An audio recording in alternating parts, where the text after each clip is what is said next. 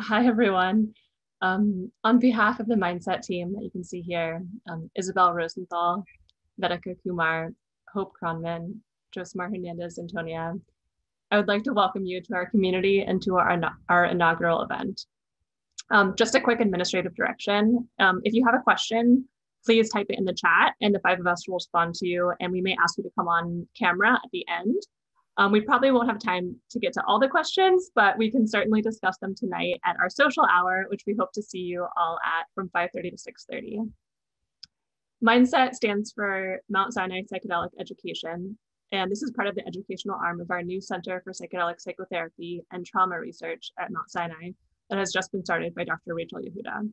I'm going to introduce Dr. Yehuda to introduce our speaker, uh, but I'd like to start this series by something she said a few years ago. I'm going to quote it. Openness to new ideas requires courage and vigilance. It is unfortunately often the path to most resistance. What we really need to be are disruptors, disbelievers, skeptics, and revolutionaries. These are the required ingredients of transformative change that will advance the field of trauma and the treatment of trauma survivors. Without further ado, my esteemed mentor, Dr. Rachel Yehuda. Oh, thanks, Lauren, um, for uh, sharing that quote. I'm actually thrilled to be introducing uh, Rick Doblin as our inaugural speaker of the Mindset Lecture Series sponsored by the Mount Sinai Center for Psychedelic Psychotherapy and Trauma Research. Um, we're all, um, I don't think that we would be here if not for Rick. Um, I think he's been the inspiration of the center, and we're all in for a treat. Um, Rick Doblin is the um, founder and executive director of MAPS, the uh, Multidisciplinary Association for Psychedelic Studies. He has a PhD from the Kennedy School of Public Health. Um, and the story of how Rick started MAPS and how he has succeeded in bringing uh, this treatment through breakthrough status with the VA, with, with breakthrough status being granted by the FDA uh, is really one of the best stories in psychiatry today, and certainly um, one of the best stories in PTSD. Um, and to me, it's particularly inspirational because this is a story about somebody who is doing the right thing for the right reasons, even when it's very hard and people initially were really not on his side, and particularly not the government, and slowly walking through all the obstacles with just tireless energy, with passion, with patience, and with um, with a real commitment to the people who are going to benefit from uh, this therapy. And um, of course, Rick is known for his generosity, um, especially in encouraging people like me to learn more about MDMA. So throwing it right back at you, Rick. Um, you've been an inspiration because it has been hard to get where you are. And if you've been if you can do it we can all help you. And that's really been um, where where we're at. Um, we hope to help by providing really good science about this work uh, to go hand in hand with your efforts. What you've done for the um, entire field of traumas give us a lot of hope that we can bring healing. Um, and I'm sure within the next few moments it'll be clear to everyone all the amazing efforts. So without further ado, uh, Dr. Rick Doblin. Well, thank you so much, Rachel. Um, I'll just uh, correct one thing: is it's the Kennedy School of Government, not Public Health. So and, and, the reason, no, no, the, but the reason that I had to um, go to the School of Government is that the politics was blocking public health. And so I think one of the most important things we're trying to do is get it back into the field of public health. And I think one of the most important things to get the politics out of this is the study inside the Bronx VA and moving to get the VA and eventually the Department of Defense all interested in, in um, moving forward in this sort of research and that that will be, you know, incredible sign of uh, this move beyond the stigmatization and the politics and into really science and public health. So I'm going to do a presentation, uh, PowerPoint. There is going to be um, a video of uh, 10 minutes of an MDMA PTSD uh, series of therapeutic sessions so you can really see directly how it works. And so I'll, uh, and then we'll have time for questions. Um, now, since we're talking about mindset, um, what I wanted to do is, is, start with a little bit about uh, cultural mindset, um, just so that, um, oops, sorry. Okay, so um, the first thing is to look at this slide. This was a psychedelic looking slide, and it was presented and created by the FDA, the Division of Psychiatry. And they presented this um, about a year and a half ago at the American Society for Clinical Psychopharmacology.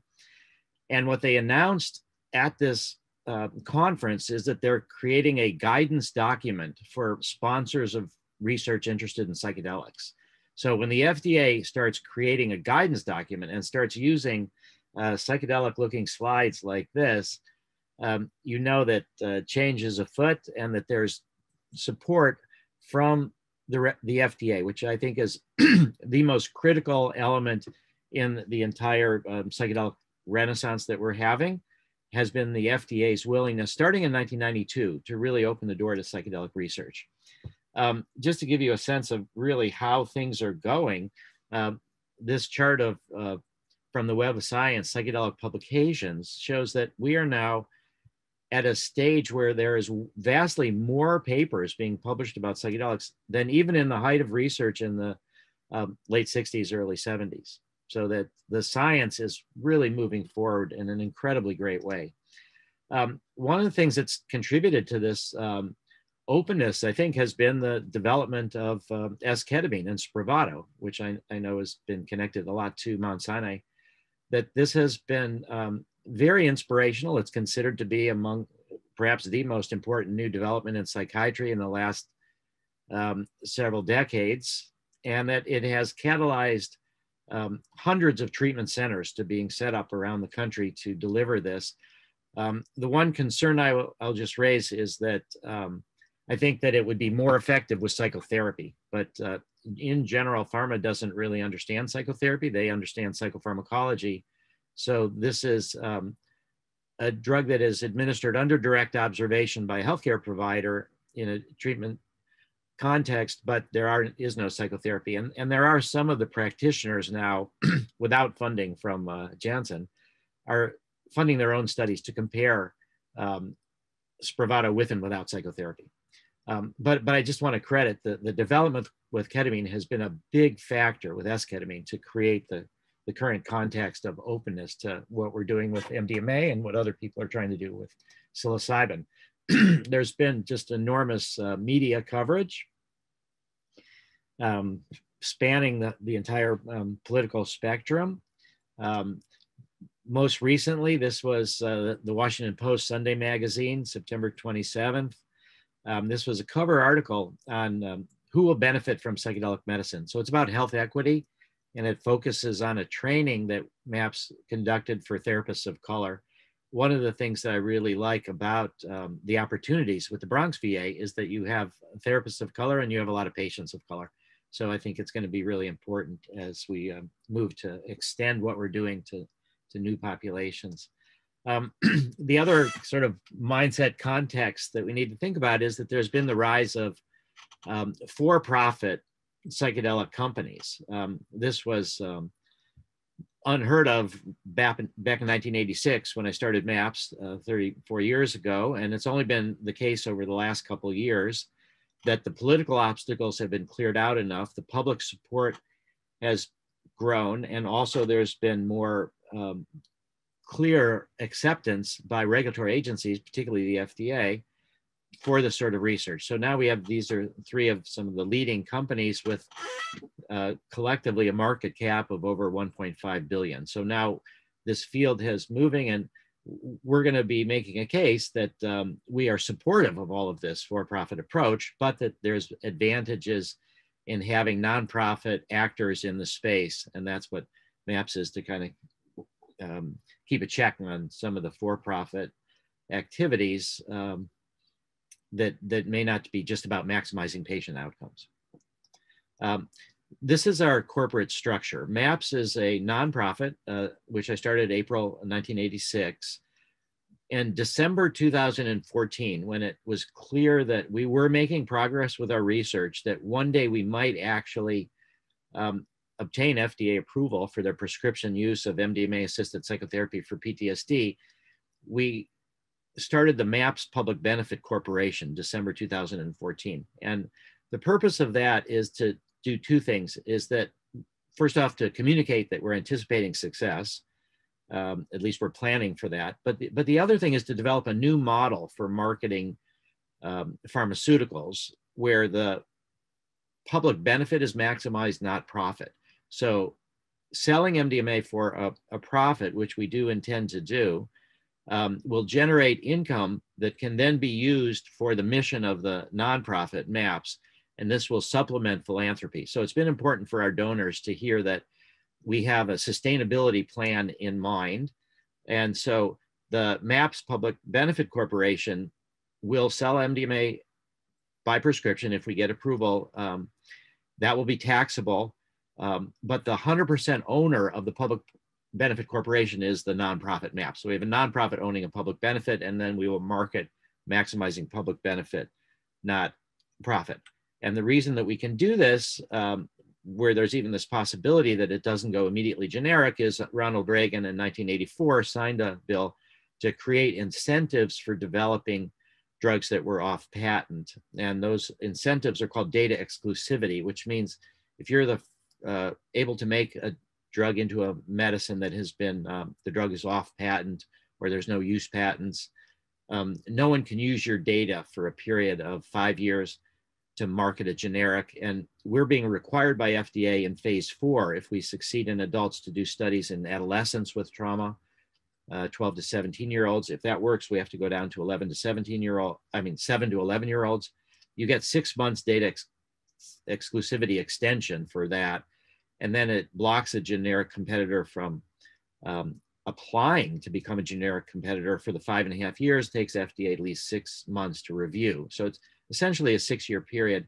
Other companies, if they wanted to, can develop their own data. we have exclusive right to use our data, but it doesn't block anybody else from generating their own data, although it'll take them five years or so and cost them a lot more than it cost us. So it's not that likely. Um, and in Europe, it's 10 years. So this is the context. Um, since its founding, we've raised over 100 million in donations, which is a rather astonishing amount of money, and it's from the full range of um, people across all the political spectrum. Um, why MDMA and why PTSD? Uh, these are strategic choices, and because we are now the only um, psychedelic assisted psychotherapy in phase three, these strategic choices I think have uh, borne out. But um, MDMA is the most gentle of all the psychedelics. It's the easiest to integrate. It's the least ego dissolving. Um, it's the least uh, fear producing. Um, there's not so much a sense of losing control. So MDMA is the gentlest of all the psychedelics. And um, why PTSD? Um, we needed a patient population that was appreciated by the American public to get over the stigmatization. We needed a, a, a clinical condition for which it was uh, generally accepted that there was a large number of people that were treatment resistant that needed help and that the available medicines and therapies helped some, but still left a, a great perceived need there. Um, this is the latest statistics that I'm aware of from more than two years ago when there was 1,039,000 veterans receiving uh, disability for PTSD. Um, I'm not sure what the number is now, but I, I imagine it's it's larger than that. Um, third most prevalent service-connected disability after uh, tinnitus and hearing loss. Um, the last uh, estimate, this is my rough guess of what it costs the VA. Uh, we've been unable to get the exact numbers here, but it's in the range of 10 to 20 billion a year that the VA puts out for disability payments.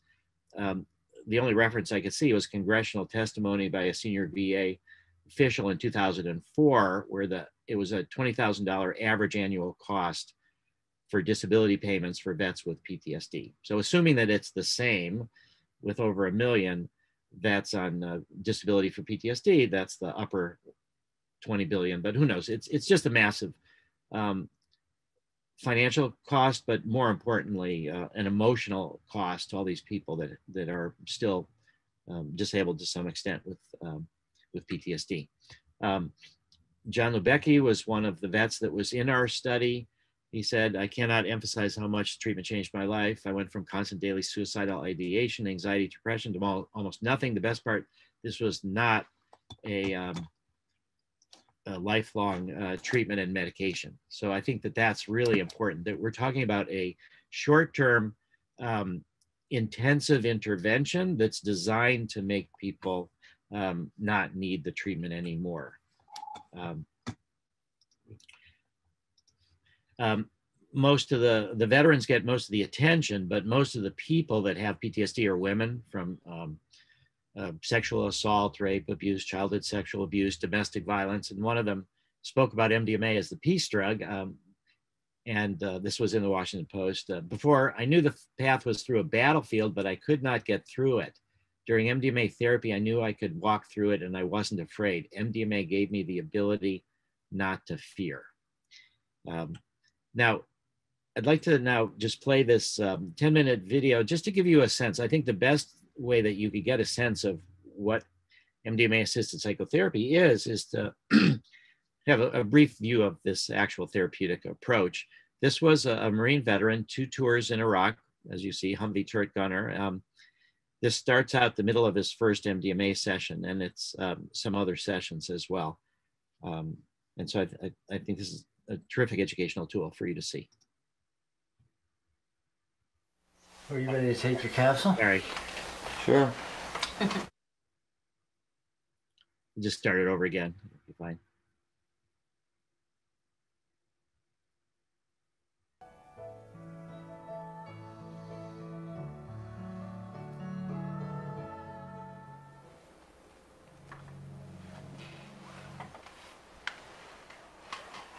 Just want to tell y'all, I had this like um, this really intense like feeling come over my body, and my heartbeat started beating real fast. But I didn't get at at first like I started feeling like a little afraid, but then once I started breathing, I, I mean, I've never felt that before. Like I literally felt my heartbeat start to slow down and everything when I started breathing and just relax and like mm -hmm. the sensation. And it was amazing how not quickly it went away, but just how in control I felt of mm-hmm. making it go away. So mm. usually I've, I've had those feelings. Mm-hmm. In a way, it kind of felt like when a panic attack kind of comes on, mm-hmm. and my heartbeat started, and I felt my whole body flush and get really mm-hmm. hot, and then mm-hmm. I was just amazed how I was able to not really fight it, but mm-hmm. kind of relax.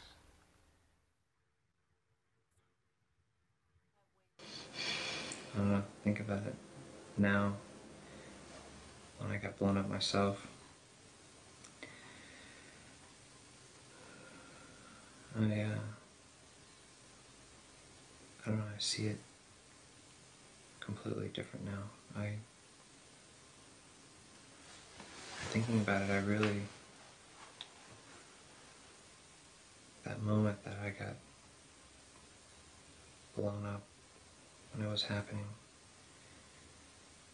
and everything was moving so slow and my mind was just racing at the speed of light. It was, and I can really go back and visualize. I've never been able to visualize it so hard before. I can mm-hmm. really feel what it was like, and there was this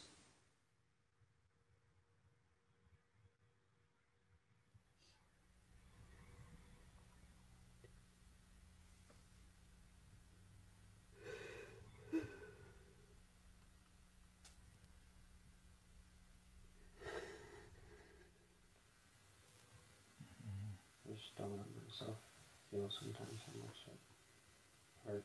Mm-hmm. Oh,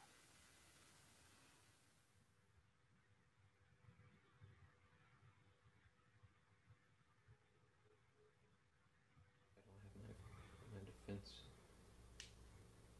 mechanisms anymore.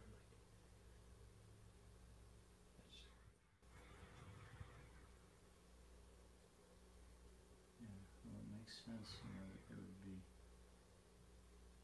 those feelings coming up, and you know it's really hard. But you are able to talk about things that have a lot of anxiety and fear attached to them. It just opened a door that I kept locked. So. Yeah. Mm -hmm. Yeah. And so part of this integration process is really just what we're doing, you know, really being able to talk about that express that and address the fear and support you in processing all that. And then it'll, you'll, you know, you'll, in that process, I'm sure you'll find that actually, as you knew yesterday, it was helpful in the long run. Yeah, I can, I can believe that because of just from the first experience and the beginning of this other experience, how things unfolded Yeah. and I felt so natural and very you know healing. And I was just like, uh, you know, it's like doing some some house clearing. And, Mm-hmm. and um, I don't know what I was thinking. I could clean the house out and not touch some of the stuff that's in the attic. Right, I know. you can avoid a corner. Yeah. We all have.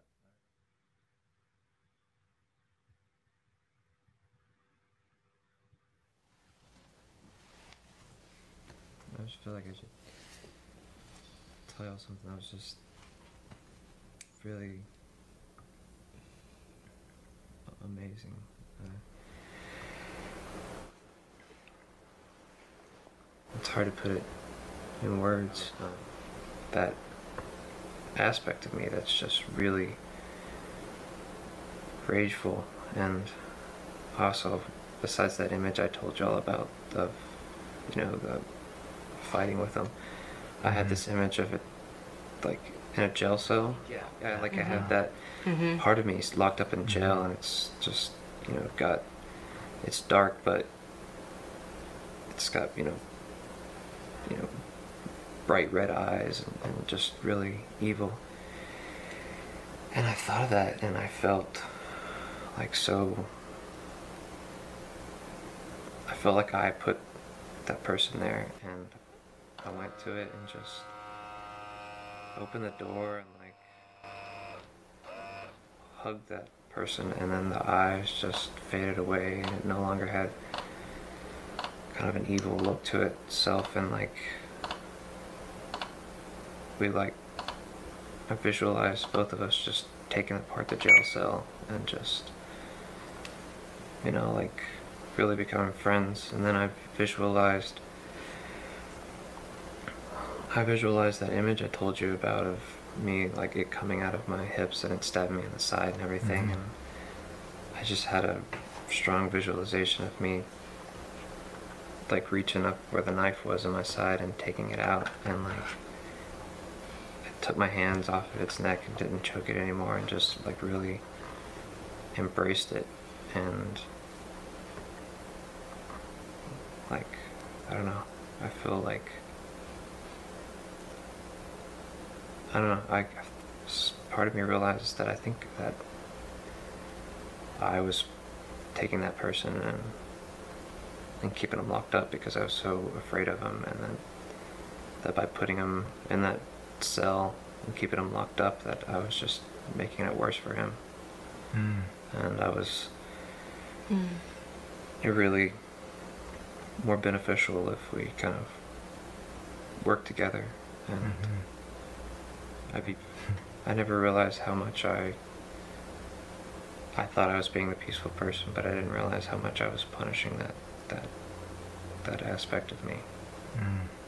Mm. I think I was just I think maybe in Iraq I saw what it was capable of. And I think I was too afraid to, Mm. you know, and a part of me just feels like so bad that I I did that to him. Mm. And, I mean, I know it's me, but I just Mhm. describing it wisely. Part of you. Um, Yeah. I don't know. I just got this amazing sense of just, I guess, wisdom. I, I really don't know. Mm. Hmm. Sounds a lot like wisdom to me. And it was, it was really amazing. And even when I try and think of that really rageful aspect of me, like I can't even. I know it's there, but it just doesn't. If I really feel like so much more at peace with like Mhm. everything. Great. Like, even if I try and think about Iraq and everything, like I somehow feel like really peaceful about the fact that that's my journey and that Yeah, thanks for sharing that. part of me think I mean I mean I know this is um, part of the um, you know part of the drug but when I try and think you know am I going to be able to hold on to this um, this understanding and this um, somewhat of wisdom this knowledge that I have now Mm-hmm. I I mean, just asking myself that question, I feel like it's so profound that I don't think I could really forget it. Mm. I don't know why I couldn't have come up with this on my own, but I'm I'm glad I I'm glad I found it. Mm, I'm glad too.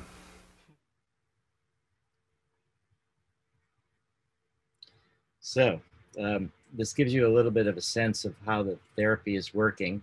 Um, around uh, of the eight-hour session, around half the time people are having their internal experience uh, with their eyes closed, with the eye shades and music. The other half of the time they're talking to the therapists um, in a sort of inner-directed, non-scripted way. People find their own rhythms for that. Um, this is the phase three uh, study design that we negotiated with the FDA. It takes about three and a half months. It's a um, three MDMA sessions or three sessions with uh, therapy with inactive placebo. Uh, MDMA sessions are roughly one month apart. And there's uh, 12 90 minute non drug psychotherapy sessions, um, three before the first uh, experimental session for building the therapeutic alliance for preparation, and then three of these um, 90 minute psychotherapy sessions after each session for integration um, and then to prepare for the next one. And then our uh, primary outcome measure is two months after the last experimental session. Um, you may be wondering um, about this idea of uh, the inactive placebo and the double blind. Um, we tested all these different doses looking to try to figure out how to do a proper uh, successful double blind experiment. A lot of my dissertation at the Kennedy School was about this methodological concern of how to do a double blind study. Um, the solution I came up with was therapy with low dose MDMA with therapy with full dose MDMA. And the goal was to try to find the low dose that was sufficient to produce blinding, but that didn't have so much therapeutic potential that it'd be difficult to find a difference between the two groups. This is where we found the most effective dose range. Um, and what we found though was that the low doses uh, did help produce blinding, but they made people uncomfortable and it reduced the effectiveness of the therapy itself. Um, we did, uh, for those concerned about neurotoxicity, we did uh, neuropsychological measures before and after on two different um, sites with two different neuropsychologists, and we showed no uh, declines, even in some cases, slight increases. Um, so there's no evidence of uh, functional consequences, and we believe that the doses that we're using are um, below the no effect level for neurotoxicity. Um, and even if there were some, it's a risk benefit, but uh, we don't see the risk here from that. What we learned in phase two is that we could enroll people with PTSD from any cause, that the low doses do have um, the ability to enhance blinding, but they have this anti-therapeutic effect. Um, the safety in clinical settings we demonstrated, and we had a medium to large effect size. Um, we also did a, a, mystical experience questionnaire. You may have heard that in the work with LSD and psilocybin, there's a correlation between the depth of the mystical experience and therapeutic outcomes. And we use the same questionnaire, and people with active dose MDMA do score fairly high on this questionnaire. 0.6 is meant to be a full mystical experience. So you do have more higher scores with the classic psychedelics, but these are um, pretty substantial. And we have a fair number of people that are above the full mystical experience. But there is no correlation between the mystical experience and therapeutic outcome when it comes to MDMA for PTSD. I think that's really important for the fact that we don't steer the sessions towards this kind of experience. And also, I think it means that with fear extinction and memory reconsolidation, you have it helps if you are able to um, be in your your bio, biography, your ego, and, and really remember the the traumatic memories. Um, uh, we have done uh, cost effectiveness studies just uh, published in um, One recently, and it shows that it's um, break even. And this was uh, after three years. This was based on our phase two data. Now, for phase three, and, and what I'll be sharing with you is just um, unpublished data. So um, please keep it out of social media. Uh, you can know it, but you can share it with colleagues. But we're working on a scientific paper that we hope will be published in a couple months. Um, so this part is that we negotiate with FDA two 100 person phase three studies. Um, FDA said to us that uh, we could prove, um, they felt that we could prove efficacy with fewer numbers than they wanted to see for safety. So we were permitted to do an interim analysis, but uh, it would only be for sample size re-estimation uh, if we needed to add subjects to get more statistical significance, but we wouldn't be able to stop the studies early. Um, we have um, 15 phase three sites, two in Israel, two in Canada, and 11 throughout the United States.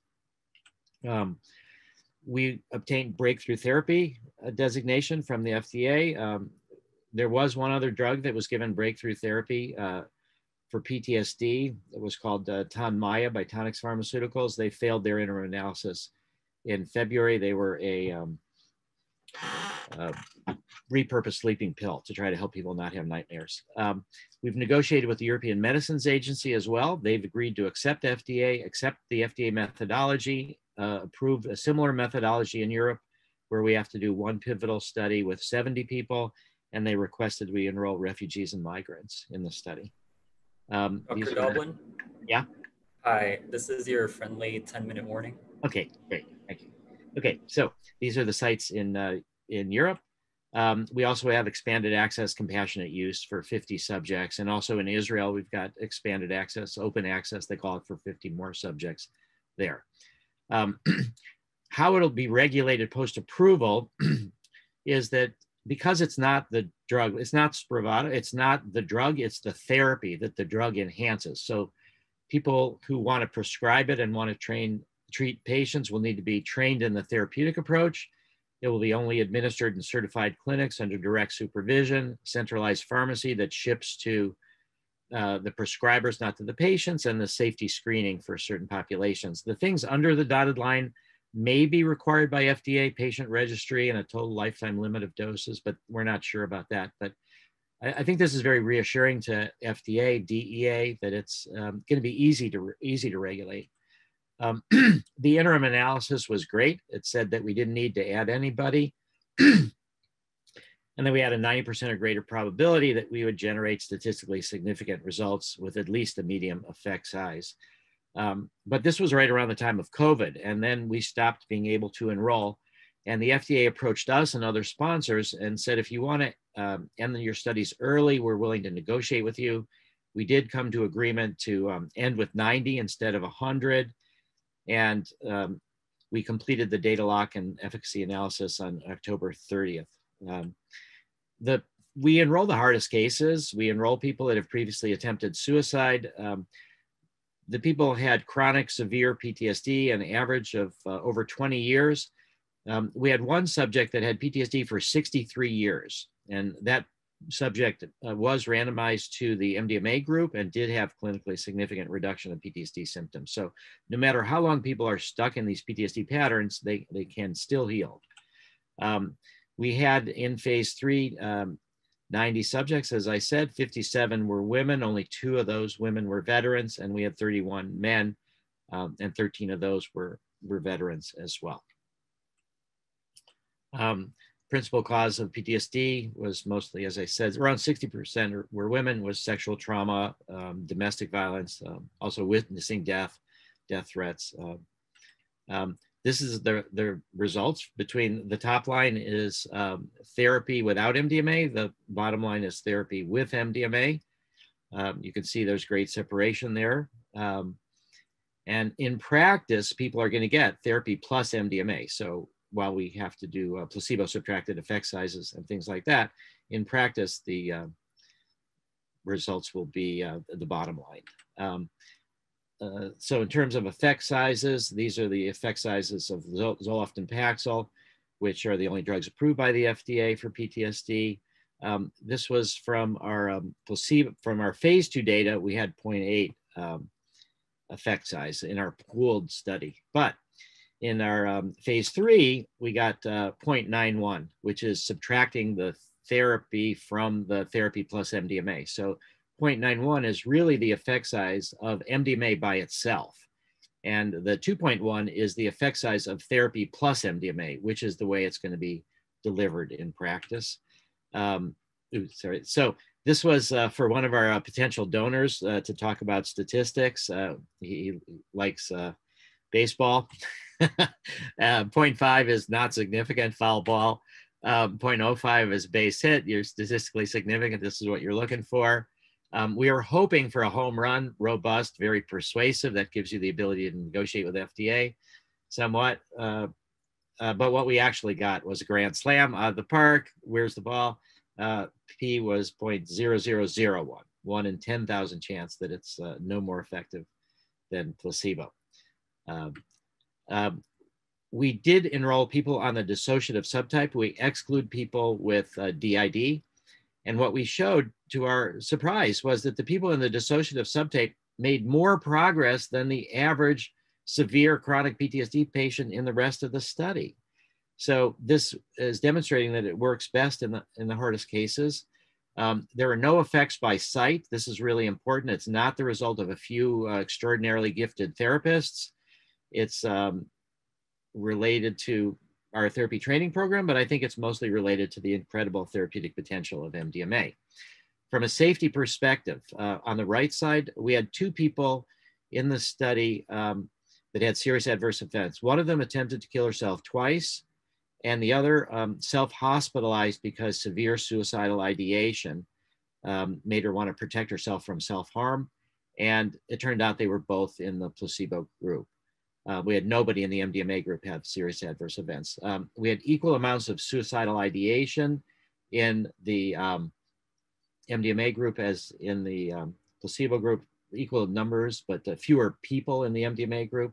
Um, no problems with cardiovascular uh, issues, one person in the placebo group, but not in the MDMA group. And no one spoke to us about using MDMA after the therapy was over. So we don't have evidence, at least at this point, of abuse potential from this. Um, these were the side effects that were um, reported. They're transitory. They're mostly during the acute effect, muscle tightness, decreased appetite, sweating, very trivial kind of side effects, um, not problematic. So small p-value, large effect size. We replicated our phase two results, no site, site variability, and a great safety profile, no increase in suicidality. Our timeline is that we um, are starting our second phase three study now. We're going to be having um, meetings in January with FDA to see if we can use this uh, very um, persuasive, robust results and excellent safety record to um, expedite the, the drug development process, maybe skip the second phase three study or uh, go ahead without the control group. There are ethical issues about the control group. And so we're now anticipating with the current timetable, FDA approval um, early 2023. Maybe that can be accelerated with European approval about a year later. Um, this is uh, what we're hoping to do here with uh, and planning to do this um, work with Rachel with um, and your team with two sessions versus three sessions, kind of a cost effectiveness study. People do get better faster with three MDMA sessions, but at the 12 month follow up, um, people continue to get better. So it could potentially be that even though people would get better faster with three sessions, maybe two sessions is enough to start the self healing process. And then at the year follow up, they'd be more or less the same. So this would make the overall cost less expensive. And then we hope to also work on a group therapy study with Rachel and your team. This will be very important to develop. Um, we have done work with Candice Monson with cognitive behavioral conjoint therapy, um, blending that with MDMA and it worked great in our treatment development study. And now Candice is wanting to do a large controlled study. Um, this is basically to say that there's multiple different methods that can be used for MDMA. We have our own treatment method, but it can be blended with other uh, approaches, and maybe there's ways to innovate and, and improve on what we're doing. Anne Wagner is going to be, who works with Candice, is going to be doing MDMA blended with cognitive processing therapy. Barbara Rothbaum at Emory is going to blend MDMA with uh, prolonged exposure. Even Edna Foa is now willing to blend MDMA with uh, prolonged exposure in a study that will take place in, in Jerusalem. Um, this is an IIT at the Loma Linda VA. Uh, we are doing eating disorder studies um, that we're about to start. We've done social anxiety in autistic adults. That was great results. Uh, life-threatening illnesses, people um, anxious about dying. This was very helpful. There's been a study with uh, Ben Sessa in England, MDMA-assisted psychotherapy for alcoholism with great results. We're doing a long-term follow-up from that now. Um, ben Kelmendi at Yale is going to, for, for the first time, take somebody with PTSD under the influence of MDMA into a scanner. So it's not a treatment study, it's a, a, mechanism of action study, but we are using the caps and we'll sort of see what MDMA can do on its own. And this is the vision for the future. There will be thousands of these psychedelic clinics and these therapists all want to be cross-trained, uh, not just MDMA, psilocybin, ketamine, and so I think that the future, I think, for the Bronx VA and for the VA itself will be to get um, this, these MDMA studies started and see if that works. But eventually, I, I do hope that we start developing sort of personalized medicine, personalized, customized psychedelic medicine, where you can design a treatment program for each person that may involve MDMA, psilocybin, ketamine, and, and other things. And um, as the last slide, there are 8 million people in the US suffering from PTSD every year, but there's over 350 million in, in the world. And so now we're um, starting to um, expand our sites and to move towards um, Europe and the rest of the world. So that is the very quick uh, overview. And it looks like I even came in on time, unbelievable. I don't know how that happened, but um, that was a lot of information in a very short amount of time. And so I just very much look forward to the uh, discussion now. Thank you so much. Um, yes, we have a few questions coming in. So I think Tiffany is the first one if you want to kick us off. I'm still shocked I came in on time. oh, I think you might need to unmute yourself. Sorry. I'm so sorry. I thought I was you could hear me this whole time. um, yeah, no, it was an accomplishment I think to finish right on time. So congratulations. But um, just wanted to say thank you for doing this talk. And my question, I've been really interested in microdosing, and I think it's interesting to see how microdosing has become sort of like a phenomena across psychedelics, not just MDMA. Um, and I'd love to hear what you know you can speak to regarding the actual therapeutic effect and also sustained effect post dose um, and how that might be influenced by microdosing versus not microdosing. And I think my question specifically in the chat, which I'm sorry, I realized I was supposed to ask that one, was about how do you decide on dosing based on someone's sort of baseline, um, psychologically speaking and otherwise? Yeah. Um, well, I'll start with that. That that's an easier question to answer. Is that um, we don't adjust the dosing based on their psychological conditions at beginning. Um, the first session is 80 milligrams, uh, followed around two hours later by 40 to extend the plateau.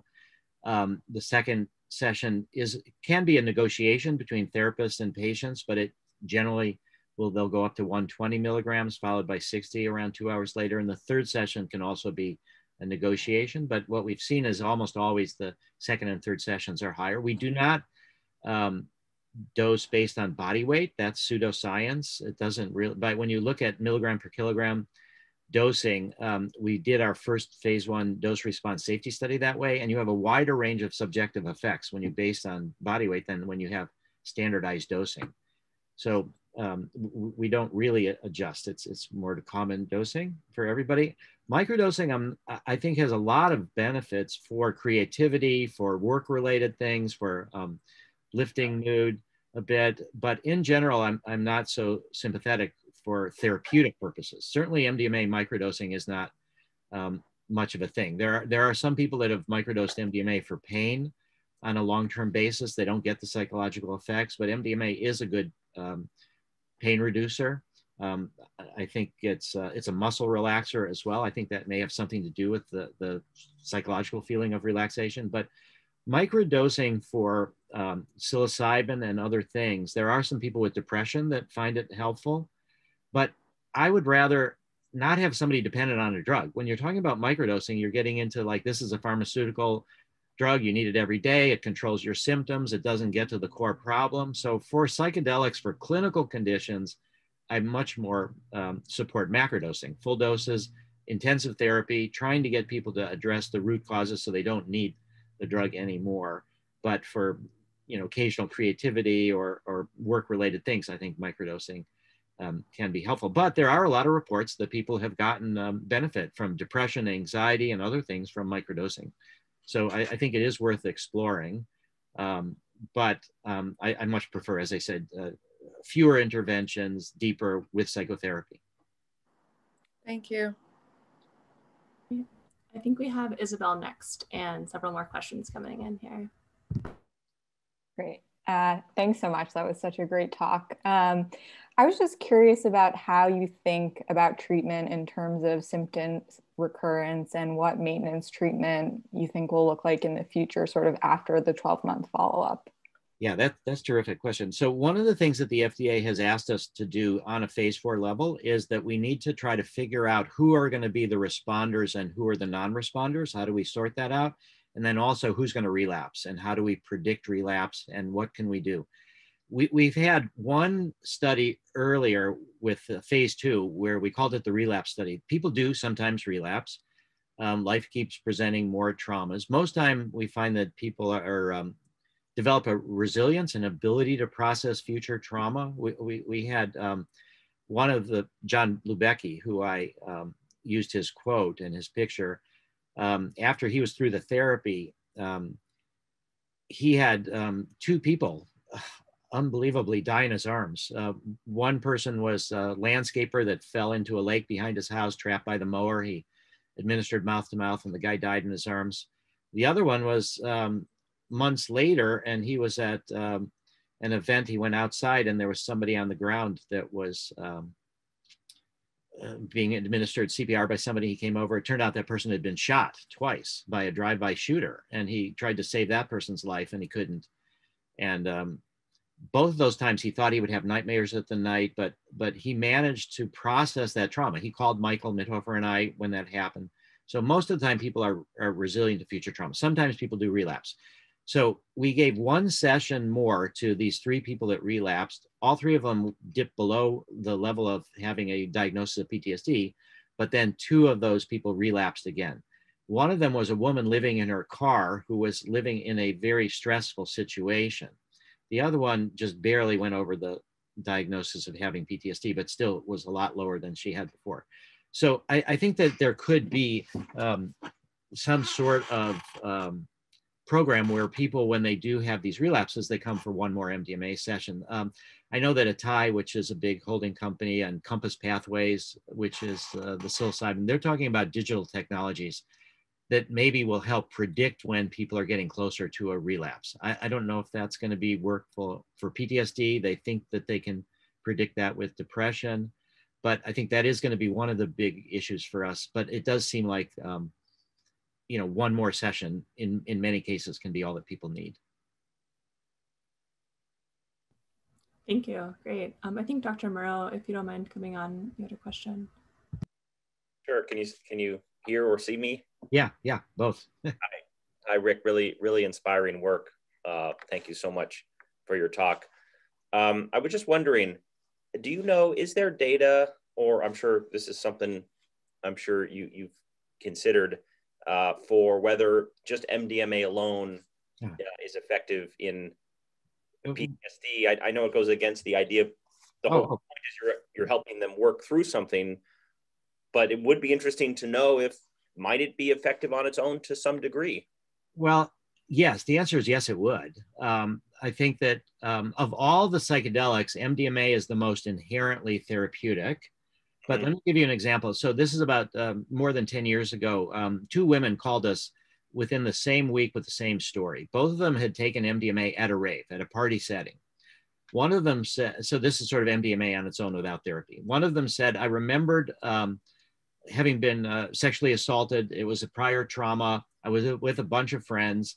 They didn't want to talk about it because that, you know, they just wanted to party. And so I stuffed my feelings down, and that was months later. And now I feel worse. The MDMA made me feel worse because it brought things to the surface and I wasn't ready to deal with it. This other woman said, I went to this party with a girlfriend. We took MDMA together. I remembered uh, having been raped and this prior trauma. And with my girlfriend and I, we went off to the corner and um, I'm not sure what that is. We went off to the corner and um, we talked it out and um, I feel better now. so MDMA helped me. So I think that um, a lot of people report taking MDMA without therapists. Uh, there's ethical issues though. When you have severe trauma, we don't want people to be just taking MDMA on your own. So we don't think it'll be a take-home drug. But the study with Ben Kelmendi at Yale is the closest that we thought we can do ethically to see what does MDMA do by itself. So they will not give a supplemental dose. They will give one prep session. The PTSD patient will get um, MDMA. The, they only spend an hour in the scanner. There'll be four or more hours that they'll be with people that we have trained that are going to be talking to them about what's happening. There's only one sort of integrative session afterwards, and we're using the caps in that, or, or Ben is using the caps. So, but but I do have ethical concerns about just saying, oh, here's a drug, take it on your own, and you know, and the the more severe the PTSD, the the more the ethical concerns I think come to. Yeah, yeah. yeah I mean, I'm even thinking that the you know the esketamine model where it's under REMS, they come to a certified clinic, they're dosed, they're observed for a number of hours, but there's no therapy per se.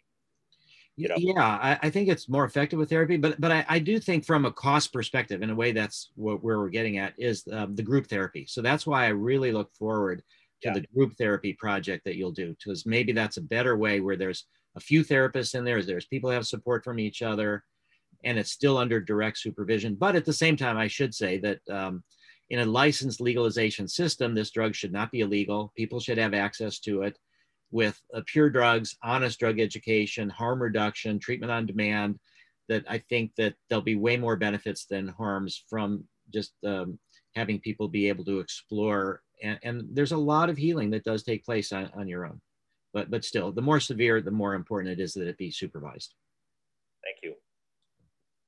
Thank you. Um, next up, we have Dr. Deckel. Uh, hi, thank you so much for speaking to us. It's an honor to be talking to you. Um, I'm a therapist and a psychiatrist do, uh, working with PTSD, complex PTSD, including also DID. And I'm wondering with the dissociation subtype, what kinds of dissociation measures you used? Uh, if some of them were multifactorial, like the DES, or you know, some not just depersonalization measures, but more broadly dissociation measures, and if if those data are going to be available like to look at the correlation between level of dissociation and um, outcome? Well, you have succeeded in going beyond my level of knowledge.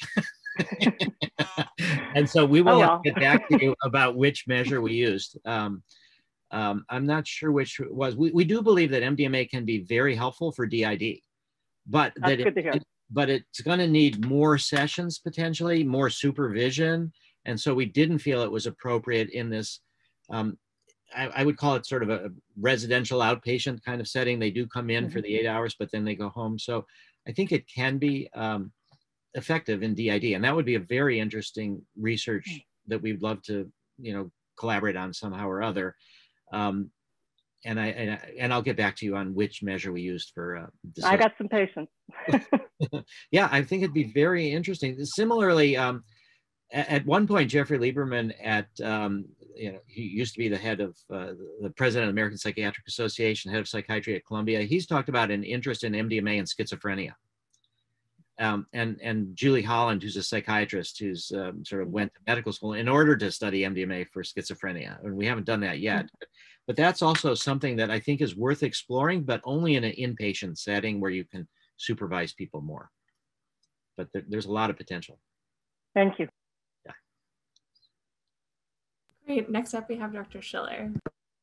Hi. Um, thank you for the great talk. Uh, I was wondering if there's a particular type of personality or traits or even some experience with therapy that would make some people more likely to have benefits from this type of treatment? Well, that that's a really critical question that we don't have the answer to yet. So the thought was before we did uh, phase three was that the dissociative subtype would do worse, not better. That they and they actually perform better. So um, we do exclude borderline personality. Again, we think that um, borderline personality can be helped, but they might need more sessions to develop a good relationship with the therapists. Um, you know, there are several cases where people have dropped out of the study in the MDMA group. It doesn't happen very often, but it's because the trauma was so difficult for them to address um, that for um,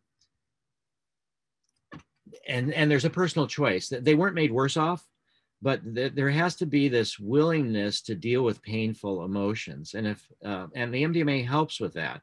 But but these were difficult situations. Well, i'll just be very quick. One was a guy who was uh, in prison for murder and he had been let out of prison for murder and he wanted to be in uh, mdma therapy. He had terrible ptsd he'd been abused by his father and in a fight with his father um, his father had a gun and they struggled the gun went off killed the father so the story was that um, this was an accident, and under M- and that's why he got out of prison after murder. Under the influence of MDMA, um, he came to the thought that um, maybe it wasn't entirely an accident. You know, now he was out of jail on probation; he wasn't going to go back to jail. But the thought that this could have been intentional to some extent was something he couldn't handle. Now, because it was in a protocol where we have to do MDMA once every three to five weeks, if it was in real life treatment where he could have taken more time to integrate that understanding, maybe three months after his first MDMA experience, he would have been ready for another one. Um, so I, I, don't know how that relates to personality types. The, the other person that dropped out was a Turkish guy who was in uh, our Swiss study, and um, he was there because a workplace accident, and the person next to him had uh, died. Uh, he was the supervisor and in this part of Turkey where he was from, uh, sort of uh, village justice. If you are responsible for somebody's murder, then uh, death, then they their family can kill you. And so that was where he started dealing with this: Am I responsible for this person's death? And he couldn't handle that. So I, I think neither of these really answer your question about personality types, but we, we will be trying to figure that out. But we have not got any clues that so far. Very unfortunate. Uh, very unfortunately, I think we're out of time. Um, there's so many great questions in the chat. Um, hopefully, we can talk about them tonight um, in the future. But thank you all so much, and thank you, Rick, for coming. Oh, my pleasure. Thank you. And it's just so delightful to see the work that you're doing and the way that you're able to bring this inside this um, VA setting. And, and we hope that you will become this massive center to train therapists throughout the entire VA and really help us roll this out so that vets have more um, options and that fewer of them will be people that you've seen for 30 years or more and that uh, people can um, move back into their lives. Uh, we're really so delightful to be partnering with you all. Uh, thank you so much, uh, Rick, and to the audience. This was a fantastic attendance. And as Lauren said, we will be having a social hour at 5, 5.30? Yeah. Um, so please ask Lauren if you don't know how to access it. And again, Dr. Doblin, PhD from the Kennedy School of Government. um, thank you so much for kicking off our lecture series and for all the work that you've done. Thank you. My pleasure. Thank you.